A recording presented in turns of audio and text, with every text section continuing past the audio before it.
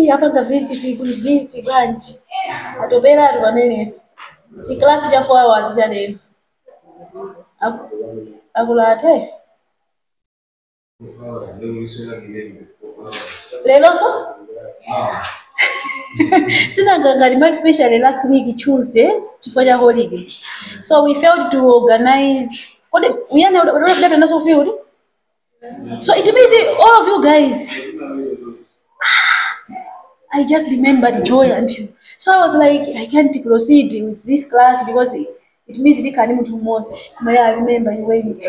So there was no time to organize for makeup class last week. Yeah, at the same time, actually, at the same time, we are trying. Could maybe it's better if we can finish earlier. Not, I don't know how busy you are on Friday. ndimafuna titamaliziratu kwinaku kuyambira wiki ayi koza kukhala wano tu mmangofuna kuti friday yomweyo mawa o mawa ndi normal classes of course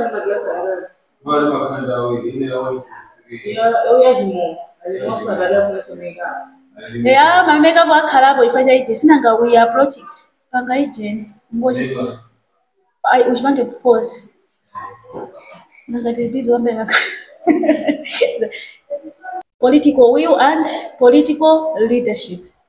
So the key enabling factors of gender budgeting as i said first one is political will and political leadership which is demonstrated through active political commitment to promote gender equality. Political commitment to promote gender equality. That's one factor that influences or uh, makes gender budgeting possible, political will. So, in order to achieve real progress, gender budgeting must be backed by responsive and accountable central government. You get my point? In order to achieve real progress, it means uh, political will, the leaders, political leaders, if they have no interest or they are not committed to do gender budgeting, it cannot be possible to do gender budgeting. Chifukwa baja, as I said, gender budgeting is done at certain level, especially at central level. So it requires leaders who actively participate or actively promote, uh, actively uh, participate in gender budgeting. They promote gender budgeting. So when it's backed up with responsive and accountable government, it's possible to do gender budgeting. Otherwise, even if when you want to enjoy, they may want to do gender budgeting, but will it affect the uh, national budget? No. So political will plays a bigger part. So political will can be demonstrated through raising awareness among key uh, actors such as national parliaments, political parties, ku parliament. So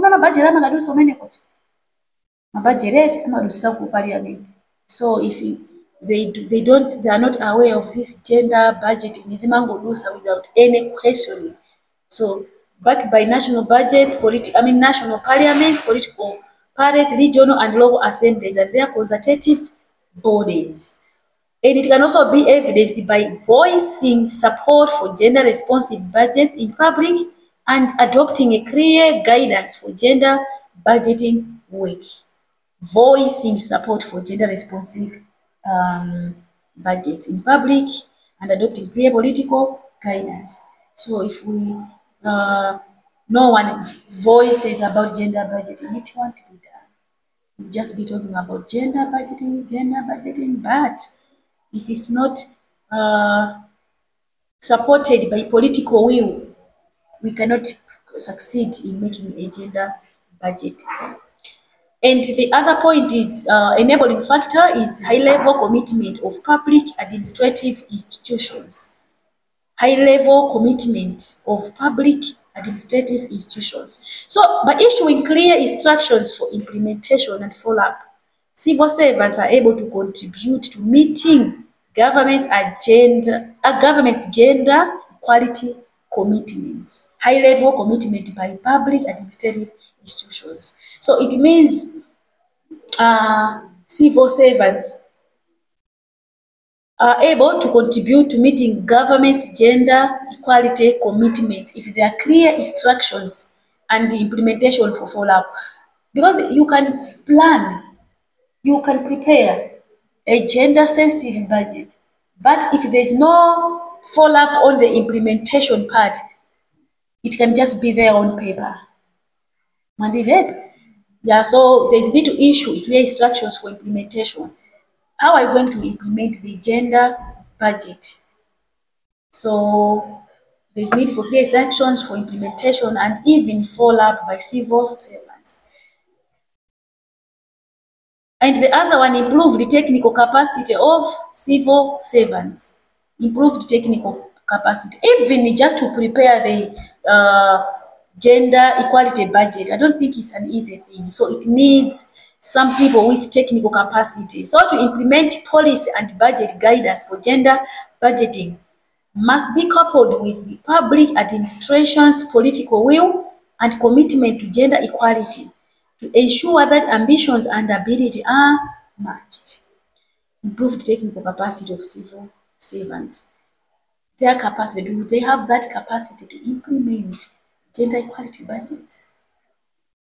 They have. Otherwise, we may need to improve the capacity of the civil servants first, because they'll be the ones who will be implementing these uh, gender budgets. And the other enabling factor is the society, civil society, which plays a key role in ensuring that governments are held accountable for meeting national and international gender equality commitments. Civil society, they play a very big role on checking on the government to ensure that this government are um, held accountable, more especially when it comes to meeting international and national gender equality commitments. It's the role of the civil society to check on the government to make sure they are meeting the international and national gender equality commitment. They are committed to meet the international and national gender equality.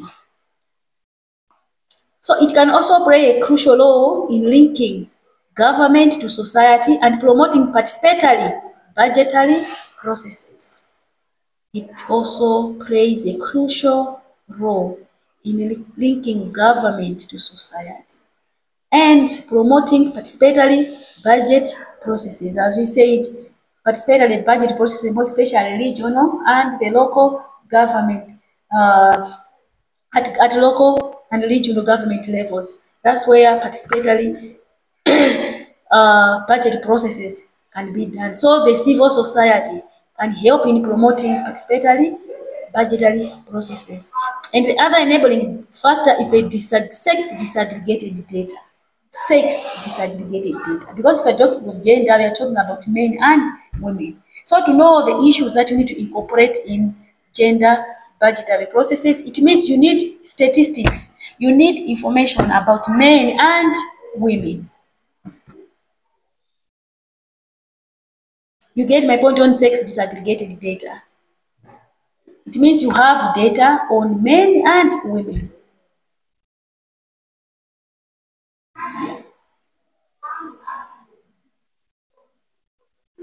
So it is also important to collect information on topics such as distribution of unpaid work between men and women. So just as I said in gender analysis, when we look at Harvard analytical framework, that is not only about numbers 50 or 30. We also need to look, collect information on distribution of unpaid work. For example, if unpaid work is between men and women, 50, you need to know maybe unpaid work, how many are in unpaid work. If it's 50, but you need to check how many men and how many women. Yeah. Because in unpaid work, you may realize only maybe 45 uh, women, maybe men who are involved in unpaid work are only five. But you need to check.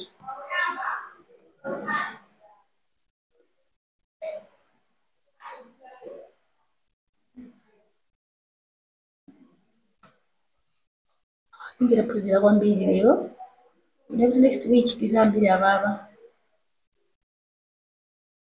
mahaza kazocheva